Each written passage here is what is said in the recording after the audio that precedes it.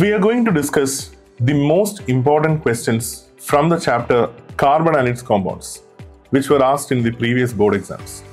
The first question is Ethanol reacts with sodium and forms two products.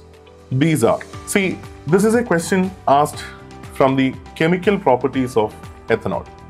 You know that you have two important compounds whose chemical and physical properties need to be covered in this chapter.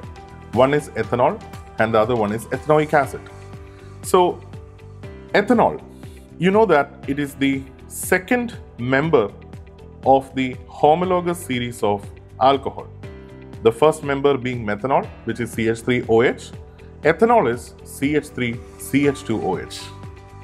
And it is an alcohol. You know that every compound which contain the functional group OH is called as alcohol. So in this reaction, what is the role of KMNO4? KMNO4 is acting as a oxidizing agent. KMNO4 is acting as a oxidizing agent. Why is it called oxidation? Because if you observe this carbon and this carbon, one thing is clear, hydrogen is removed, correct? Removal of hydrogen.